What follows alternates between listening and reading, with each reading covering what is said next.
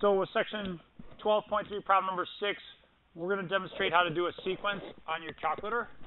So the problem asks you to list out the first five terms of that sequence and then graph it. Let's work on the first part, which is listing out the first five terms of that sequence. If you wanted your calculator to do it, if you're if you're too lazy to plug in, say one, two, three, four, five for n, then go to the list button. So you can do second and then list, and then over to ops. And one of the things you'll see down there, the fifth option down, is for sequences. So second, and then the stat button, which really takes you to list, the list menu, and then over to ops, down to sequence. And if your calculator's operating system is up to date, that is, you have math print available, you should get something like this, a little menu-driven expression. So it's going to be 6, and then parentheses, negative 0.5 raised. I'm going to use an x here. The variable is x.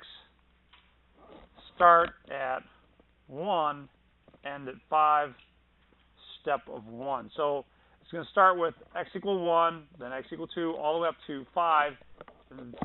The step just tells you what it should increase by. And if I press enter, it'll paste it. If your operating system isn't up to date, then when you type second list and then go down to math and stat, all you're going to do is type in this expression exactly the way we have it here. Your expression, your variable, start, end, and step. And it should print out for you those numbers. Yay. Oh, you know what? I, you're right. I should have put it in the n minus 1. I was looking at that going, wait a minute, those aren't quite right. So here, here's another little trick here. If you hit second and then enter, you can go back and re-edit one of your previous commands. So let's go up here and make that an n minus 1, or x minus 1, like that. So that makes sense. So at n equal 1, this is to the 0 power, so then just get 6 times negative 0.5 to the 0, or 6 times 1.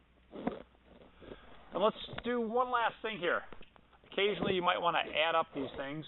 So if you wanted to add up those terms in the sequence rather than just typing them in, what you can do is, let's see, let's go down to catalog, second, and then zero takes you to catalog.